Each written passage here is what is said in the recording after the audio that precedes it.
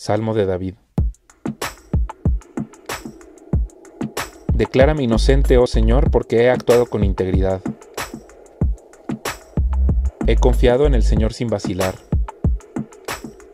Ponme a prueba, Señor, e interrógame.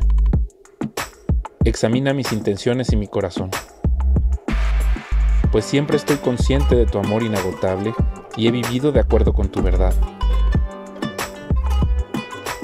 No paso tiempo con mentirosos ni ando con hipócritas. Detesto las reuniones de los que hacen el mal y me niego a juntarme con los perversos.